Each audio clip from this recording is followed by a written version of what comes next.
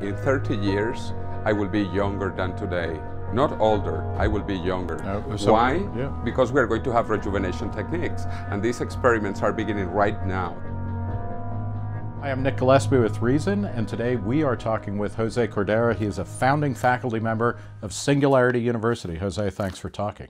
A pleasure to be here to talk about the future. All right, well, let's talk about the future of two things one about Singularity University, and then also about Venezuela, your, your home country. Um, Singularity University is a place that is dedicated to exploring and analyzing and coming up with what the future looks like, especially in terms of uh, kind of life enhancements, human life enhancement, longevity, life extension. What's the most? uh, What are the things that you're most interested about right now? Well, things are accelerating. We really live in exponential times, and medicine is being radically transformed. There is a disruption, and we are going to be living longer lives, healthier lives, uh, probably indefinite lifespans very soon. Uh, the founder, define define very soon.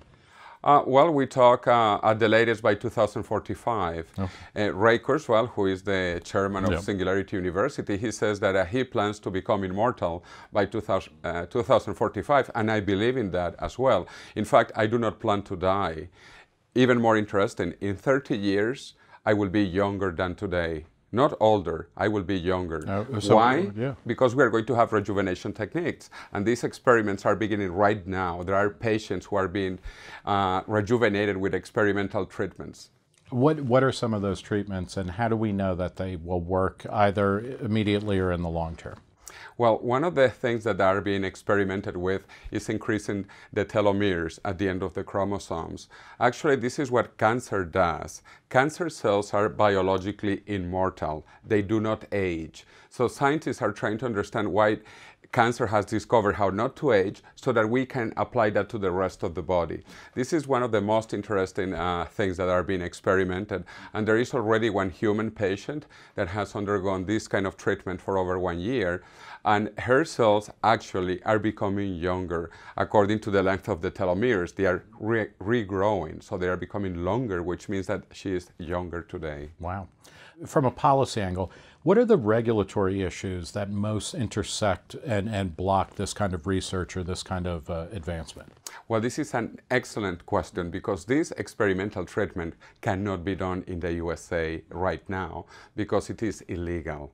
In order to do an experimental treatment, even in yourself with your own money, you need approvals.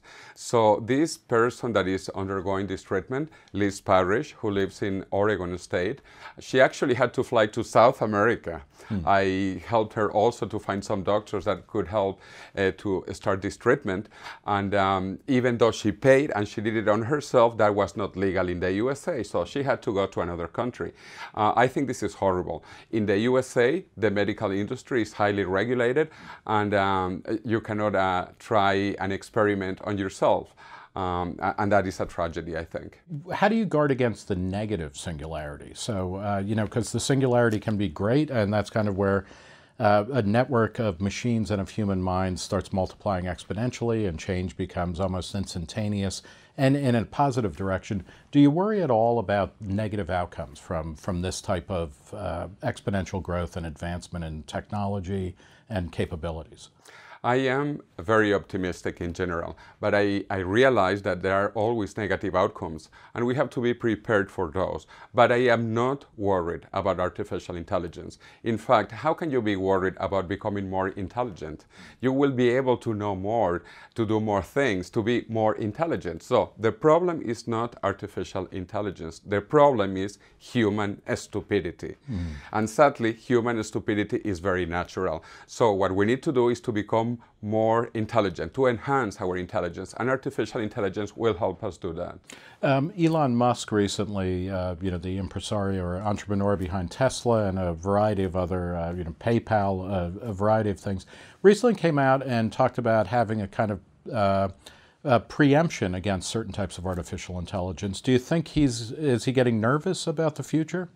Well, uh, maybe a little bit, mm-hmm. but he has other plans as well. You know, he talks about colonizing Mars. Mm-hmm. Maybe he wants to get people scared here on planet Earth so that we all go to Mars.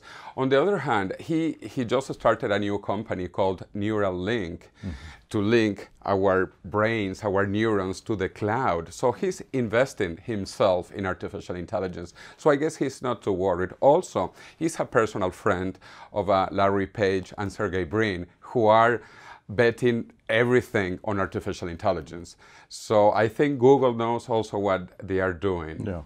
Um, many people are opposed to the idea of immortality. Not, and this isn't even a question of when or whether it will become operational, but you know they're just against it because they say it's unnatural. What what is your response to people who say we shouldn't try to extend our lives or enhance our capabilities? Well, average lifespan um, about 2,000 years ago was 20 years. You know, then in the 19th century we hit 40 years. Today we are in 80 years. So this is increasing very fast, and we are living longer, healthier lives. So I think this is what humans do. We want to live better. We want to improve the world, improve our human condition. So I think this is our nature to live in a better time with better lives. So I think it's very natural. What is not natural is to want to die at age 20. Hmm. So um, you are Venezuelan. Uh, Venezuela, it seems to be in the end game of a, of a horrible catastrophe, a, a completely man-made catastrophe. What is your sense of, of how events are playing out in Venezuela? Um, as I mentioned before, I am very afraid of human stupidity. You know, we are very stupid. Humans are very stupid. We need to be more intelligent.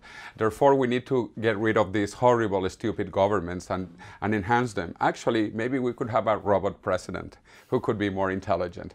But uh, talking about the situation in Venezuela right now, it really is a tragedy. The country has gone back in time about a century. People are poorer, there is no food, there are no medicines, and there is a, um, criminal regime that is dealing in drugs. Mm. And that is the problem. This is a narco general regime, they will not leave power because all of those generals who are so corrupt, they know that once they get out of power, they will end up in jail.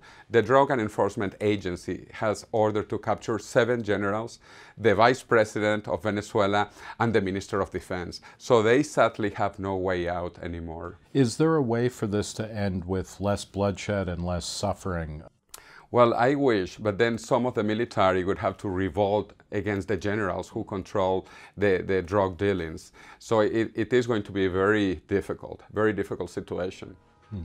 Well, we'll leave it there. We've been talking with Jose Cordeiro. He's a founding faculty member of Singularity University and a Venezuelan native. Thanks for talking to us. A pleasure, Nick. For Reason, I'm Nick Gillespie.